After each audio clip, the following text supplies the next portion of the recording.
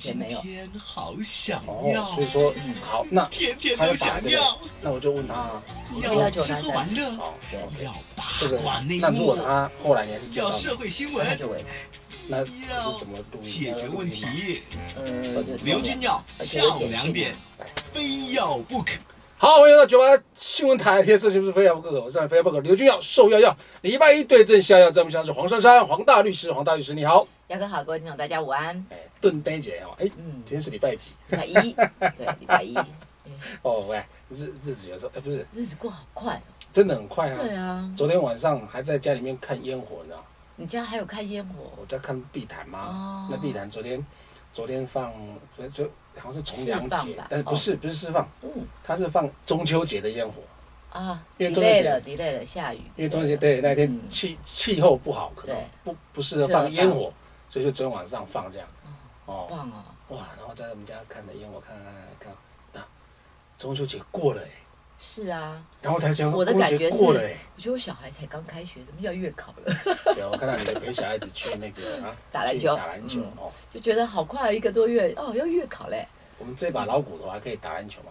你是看篮球坐在旁边被蚊子叮的，看小朋友打篮球？小朋友打篮球，哦妈妈在旁边聊天。哦，我以为妈妈在打篮球哦，我我我以为你你下场去打那厉害的。不行不行，哦，OK，所以岁月催人老，真的。寒尽不知年，对啊，一下子山中无甲子。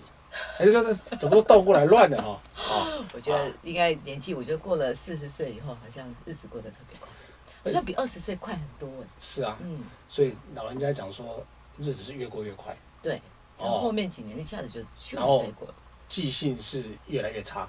嗯因为那一天我早上起来，嗯，我我不吃燕麦吗？我习惯吃燕麦嘛，然后就去开要去开冰箱拿豆浆，拿豆浆，因为燕麦弄完，然后然后把豆浆倒到燕麦，然后我就是开了水槽下水槽下面的门。诶，我要干嘛？为什么有人把洗洁精放在冰箱里面？那不是更惨？对。哎，为什么洗洁精？就你自己开错门了。对对但是你看没有意思哦，对，没有意思。就像过去然后开嗯洗洁精嗯，哦，冰箱在这里，怎么办呢？我我我我就稍微我先失笑，然后呢就跟我太太说怎么办？她说怎么了？我说我刚刚做了一件事情，这就是我们我开始有那种智了。不会啦，然后我就说他他怎么了？我说我刚刚去拿豆浆，结果我就开水槽底下的门，不要看到洗洁精然。后看到洗洁精，我说这这老婆怎么会把洗洁精放在冰箱里面？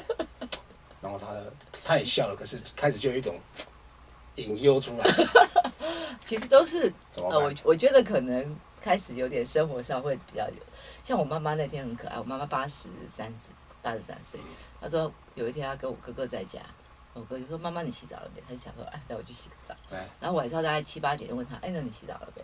她那天就洗了两个澡，哎，然后我跟你讲，没有，我就自己都忘了这样。今天我们要讲的主题不是这个了哈，但是呢，这个跟这个呢也也没什么太大关系啊。但是我们先聊一下，嗯。我我我师傅啊，我的师傅是秦德川先生，嗯。那他现在六十几岁，他照顾他的妈妈九十几岁。嗯。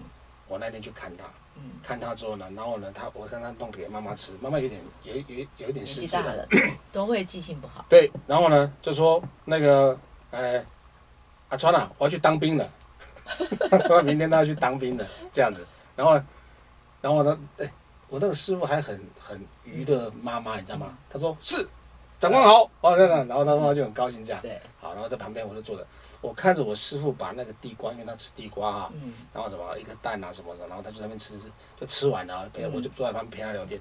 吃完之后啊，他就跟我讲说：“我跟你说啊，我儿子很不孝啊，都不给我吃东西啊。都我忘了，他刚刚才吃完。刚刚才吃完，我坐坐在旁边呢、嗯。都不给我吃东西啊，嗯，这样子，然后像小孩一样。对，就越来越回去。嗯然后呢，我师傅就说他会整，他会突然间把家里面的东西、房间的东西全部搬出来，嗯，然后来找一样什么东西。要问他找什么，他说他不晓得要找什么，忘记了。嗯然后呢对，然后就就然后他就得把这东西全部再收回去，然后呢，但是呢，嗯过过过没多久，他又把东西全部又搬出来，这样对啊，所以这个非常需要家人在身边你知道吗照料。？嗯，哦，所以就怕他走出去所回不来。以我们我们越老越担心，对，我们要 有一天加油。对有一天要开冰箱的门，万一开成大门，就走出去了，奇怪，哇，这冰箱真大啊！啊冰箱冰箱里面还有电梯啊！这反而是说大家，呃，我们因为现在现代人精神压力太大，嗯，然后尤尤其是退休啊以后，一些生活要能够找到一些兴趣，对，就会比较能够 focus 在上在事情上，尤其老人家哦，真的要让他打打麻将什么的，哦，真的有差。左右邻居多聊聊天，朋友多，然后动脑筋的，是，他就会很开心。而且你知道吗？我我虽然老了，然后我家里的猫也慢慢老了，猫已经十十来岁了。那天天我有有一只猫，突然间它不是在它的固定便便的那个猫砂盆里面，它突然在外面的时候呢，我跟我太太也都吓一跳，赶快打电话去问医生，因为它也可能老了，会失智，你知道吗？他说是说你没事就要拿逗猫棒。嗯，去逗它，然后它就会来去抓你啊，什么？这样子运动运动，嗯，所以呢，当然我们也不用不能用逗猫棒去逗逗老人家，要带着它 做一些有焦点的事情，对，一样的意思，就是说你要刺激它，对，刺激它去想、去思考、去手手脚去动，对不对？这样才有意思。但是呢，要刺激的事情呢，还还真不少哈。哎，我们经常被刺激到什么呢？我昨天还被刺激到这件事情。我们今天要谈的呢是个资法，嗯。个资法呢，已经十月一号啊正式施行了哦。嗯，呃，就上个礼拜的事情，哎，就其实是上个礼，哎，礼拜对上个礼拜。十月一号，但是有一些条文还是没有公告。但是我昨天呢，还接到呢银行呢打电话来的这些那个这个来促销来对哦来促销的一些电话，那突然间我就想到说，哎，这个事情到底我连我自己都有点搞不清楚应该怎么做。嗯，哦，所以呢，今天珊珊要来教我们。个资法现在，你如果还接到那么多的电话的行销，尤其电话行销是很烦的。嗯。而且你知道吗？上次还还还一个，我跟他好意跟他讲说，你呃这个我现在没有需要，你不要再不用。不是我，对对对。那我说我啊正在开会干嘛？他竟然说你去死啊！你知道吗？哦，让我非常的火大。要要拉拉生意还这样？对他没有他他说他一直他我我在想他前面一定非常失败。嗯。每一个都不愿意理他。对。到到我就说，大部分都在忙。然后，那我们就讲说，我不要，我们下个台阶哦。刚才下来，我说，我说我正在开会，好的。他说，他的意思是说，你根本不是在开会哦。嗯。你还你干嘛还骗我？你去死啊！这样。嗯。啊，我就觉得好，这这这是很很烦的事情哈。嗯。好，那现在以后怎么办呢？以后我们对于这样子的很烦人的电话行销，我们可以不接受，然后应该怎么样来后续处理呢？我想呢，今天是一个重点哈。珊珊先跟我们讲，现在个资法所保护的范围。对，以前的个资法叫做《电脑处理个人资料保护法》，嗯，而且它只限定某些特定的行业，比如说银行，然后公务机关，然后重大的一些，比如像保险这种大型的产业，所以它其实限制比较限缩在某些特定的行业。那其他的行业就比较没有去限制，而且如果你不是电脑处理的话，是它也不受保护。嗯所以后来在九十九年修法的时候，就把它改成个人资料保护法。哦，就不单单只是电脑处理，因为电脑处理是因为它的危害比较大。是，如果你泄露的话，是整批好几百万的资料一起泄露。但是后来修法就是希望能够保护隐私，就定了这个个资法。嗯，但这个个资法定了之后非常有趣，它本来应该是在今年十月一号要对要施行。但是呢，中央不敢不敢，这中间有几几条非常敏感的条文，他不敢执行，而且不敢定细则。嗯，这个其中包括非公务机关，哦，非盈利的也要受罚，而且要有刑责。哦，这是他因为什么叫非公务机关？公务机关就是我们，比如说我们在户政事务所有很多个人资料，地震事务所、税税务机关，然后我们可能有学校出身的这些相关的机构。对。公务机关当然有它一定的保护措施，而且有法明定。那非公务机关就是比如说银行，嗯，好，或者是你去百货公司，你当他的会员，对，好，甚至现在小到你去你家门口的那个什么呃小吃店，他可能也说啊，你留个资料吧，以后我有什么资料通知你哈，有类似留个电话这种小事啊，哎，你这个货来我通知你，哦，对，你就会把你的个资就给他给他的，嗯，当然，那这个就变成说。新的法令就会所有这种有收集到别人的，它的它的限制非常有趣哦，包括特包括特征，呃，身份证字号、护照号码，什么出生年月日、地址这些，当然有啊，包括特征。我想说这个特征要保护什么？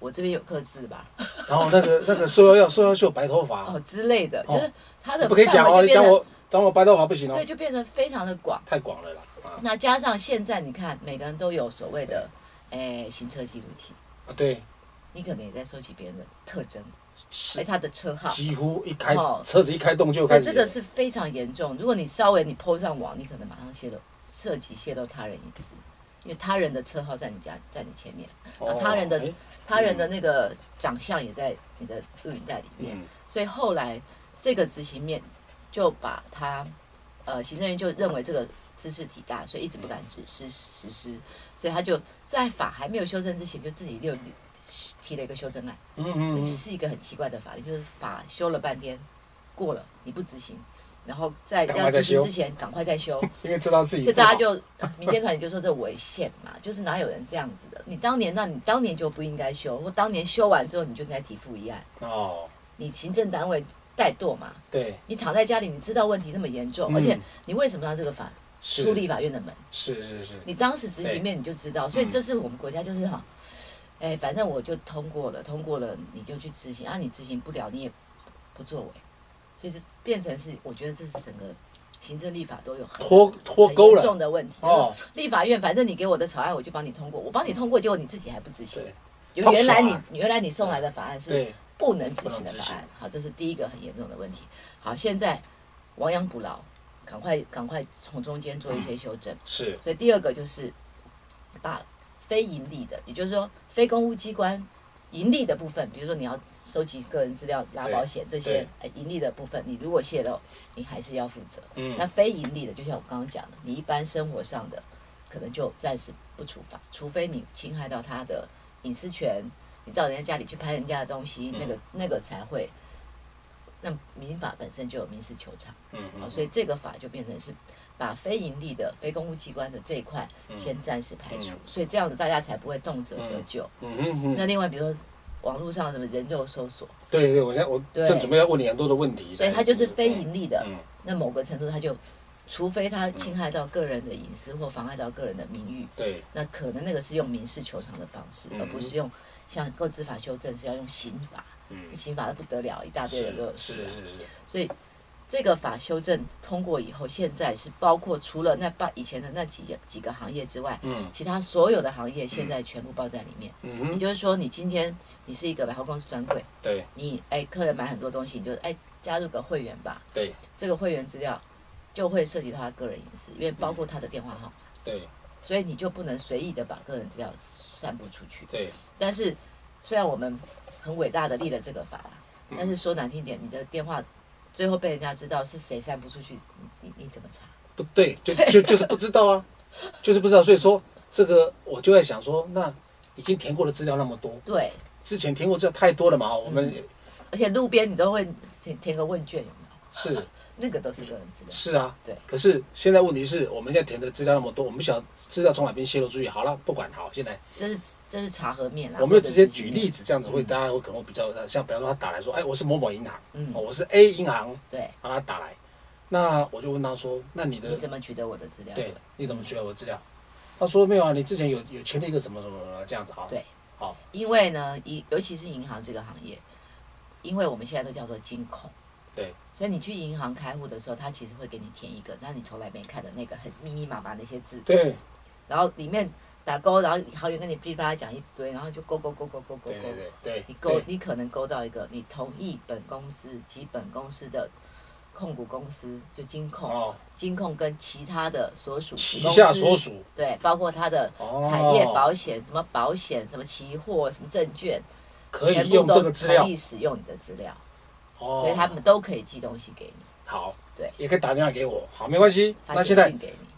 因为之前嘛还没有各自法，但是你所以我们就多了嘛，对不对没？解除，但是你可以去可以怎么做？跟现在各自法，如果你可以，如果你认为你有有需要的话，你可以说我现在开始不同意，那如果他当场打来，我可以当因为什么？我可能还是打电话太我不同意你再我就跟他讲给说，别人，对，嗯，我可以当场跟他讲说，好，那你是 A 银行对不对？那我告诉你，我现在不同意你们在使用我的资料，嗯这样，那你要帮我删除，嗯，可以吗？没有办法。现在的问题就是没有办法，我们目前没有到删除的请求权。就像大家在 Facebook 上面，你放很多东西，你是可以自己删除，对不对？对。但是如果别人转贴了你那块，我不知道能不能删。就好像很多个字转贴了，对你放上去了以后，或他把你照片下载了，嗯，他当录下来了，他是登录在他的电脑里面，对，然后再转出去的。对，你可以要求他，就你自己就可以删掉嘛，对不对？删除留言，删除这个。但是你的整体的里面所有的 database，就是你放过的东西，你能不能有一天说，请把他顶多把你关起来？嗯，因为他如果去删除，他可能有作业非常多的呃成本。对，所以现在。像欧盟也在讨论类似这种删除权、请求权，而且你有强制性。但是目前全世界都还因为网络的世界又是另外一个世界，嗯，所以就银行像银行这个东西，因为你在我这边有开户，我不可能帮你删除，嗯嗯，我只是顶多不再提供其他的公司来来使用你的个资。所以电个人资料保护法是说，要经过我本人同意，你才可以使用我的资料，或者是把我这个资料提供给你其他呃相关的。的单位，所以就像政府机关，我们去申请一个户籍成本，你一定要本人去申请。对，哦，就类似说像银行的这种资料，哎，我的账户明细你也要本人来申请。嗯嗯，就他的单纯你个人的资料，他一定是受限保护的。嗯，但是你说收集，然后使用，然后做广告的这个部分，现在是有受到限缩。哦，你可以停止他这样子的行为。好，那所以说也就是说，银行的这个部分，电话行销的部分，我我要我要先。阻止嘛，哈，嗯，那所以他在打来的时候，我要跟他说啊，你哎，不能要求他删除，对，那我就应该打电话到 A 银行，嗯，或者我就到 A 银行临柜，嗯，就是我经常去往来的话，你可能要去做一些相关的程序。哇塞，那很麻烦。有多少银行？我们我们填过多少资料？还有多少的卖卖场？多少的什么？嗯，对不对？那如果说他之前他我们都有勾过那一那一项，我们也不晓得到底有没有勾了。各位，这个就是新的这个法的另外一个问题。哎。就是呢，原来的法令是认是有规定一条，说你曾经收集过，因为以前没有规范，是你曾经收集过别人个人资料的话，对，你要你还在继续使用或什么的话，你要告在一年之内告诉他。哦，这一条全部的产业都封掉了。我先进广告，这一条这一条，哎，他的用他的客户可能几百万人呐，对，一年内你要通知，对，哎，三一年就三百六十五天，所以这条就不敢执行。这种是什么法？来，先进广告，广告再继续聊。好，欢迎到九八新闻台，我是刘俊耀，收耀耀。哎，在我们现场是黄山上黄大律师，黄大律师你好，大家好。哎，刚刚讲这个哈，哎，知识提大嘞，头壳会痛。知识提大嘞，一年内你如果掌掌握有人家的资料，你还得告诉他，说我有你的，我有你的资料。可是我如果没有要用你的资料，我干嘛告诉你呢？所以啊，这条就就行政院现在就先 hold 住，先暂时不不实行。哦，我现在是现在是不实行，先后住。哦，就是我说修了法又不不敢执行的法，就是这个，就是这个。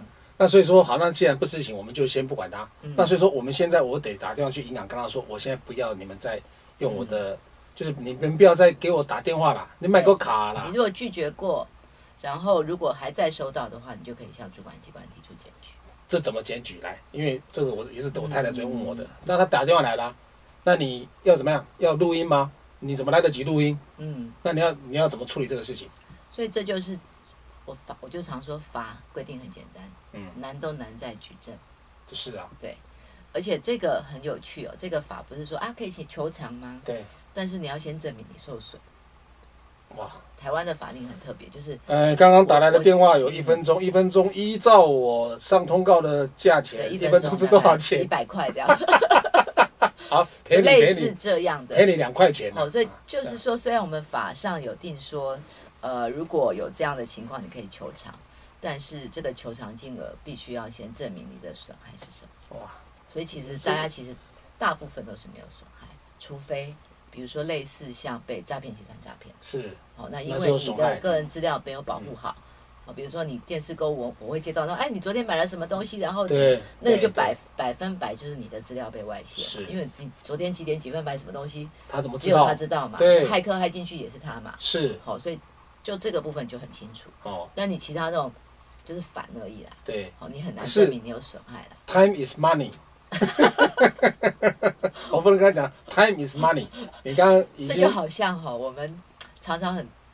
很难。就台湾我们目前的民法的概念就是填补损害，哦你要先说你的损害。哦，就像很多人他房子漏水，就告楼上，有没有？对然后他就说我精神很痛苦，对可是我们精神痛苦是不会在财财产的东西上面认定精神痛苦无形的只有身体，对就滴到你，造成你的皮肤炎，这个可以，但是你就很痛苦很难过。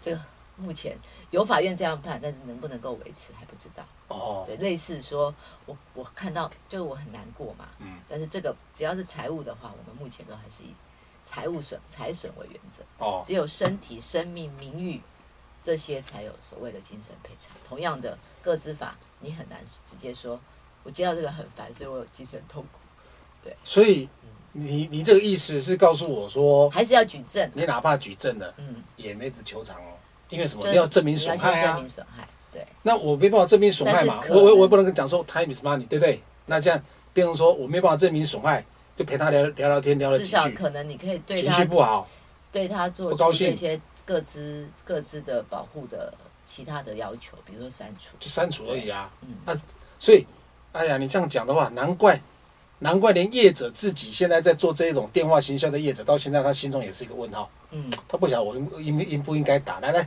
先暂停，不要再使用，不要再打电话哈。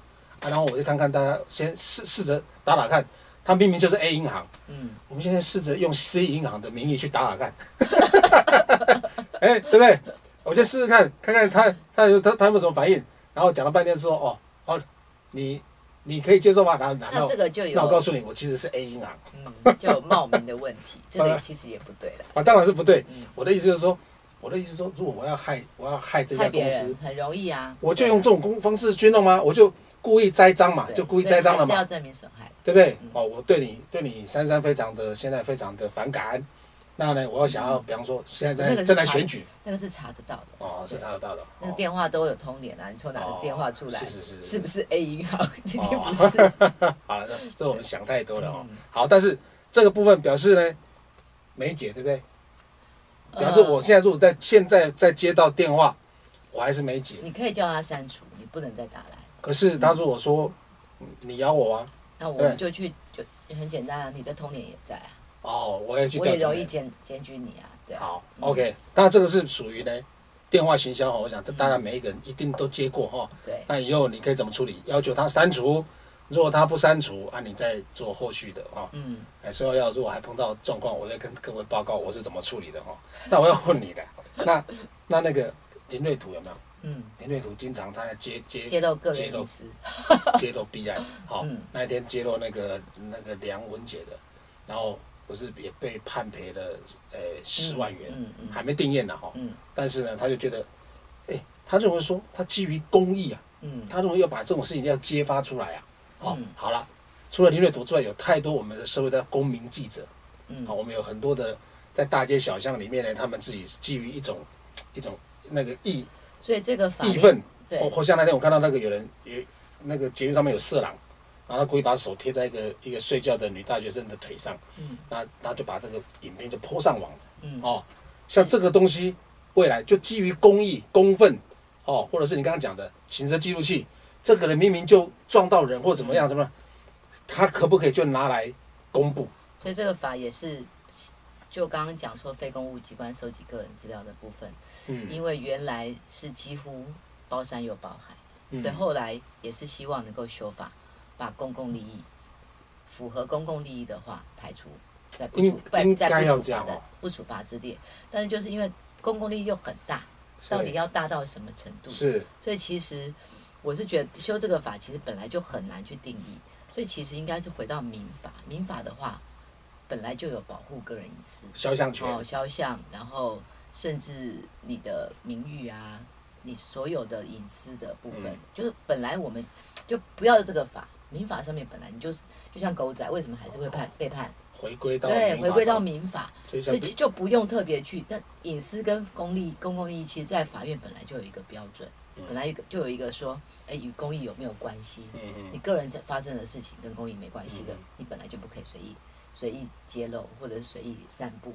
好，但如果说跟公众利益有关的，嗯比如我我我我我不是名人，自己跟自己的呃老婆通奸好或者是什么，嗯。这个其实没有必要揭露，是。没有别人也没有义务有权利知道。